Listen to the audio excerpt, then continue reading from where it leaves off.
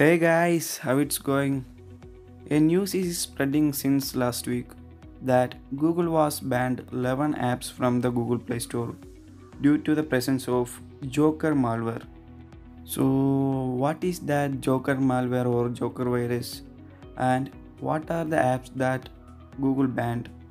Come on, let's find. This is Abin here, and welcome back to Joyz Tech Tricks.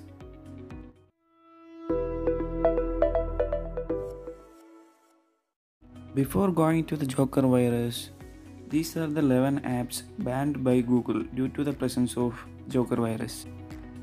Unfortunately, Google was only given the package name of the applications, and so, guys, make sure that any of these applications are not installed in your device.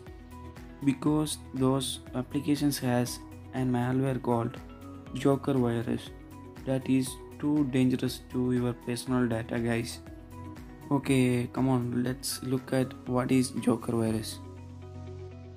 Joker virus is a type of computer virus or malware that can capable of steal your personal data. Once this virus enters into your device it will keep monitoring your device without your permission.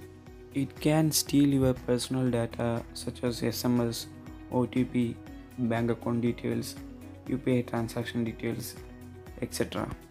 Using the bank account details and the OTP from the SMS, the hacker can easily steal your money from your bank account.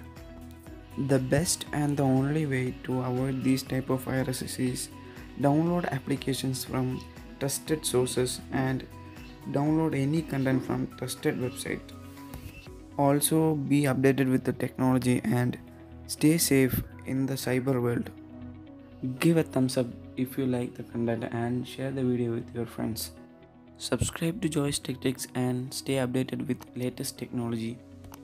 Stay tuned for the next video. Till then, this is Abin signing off.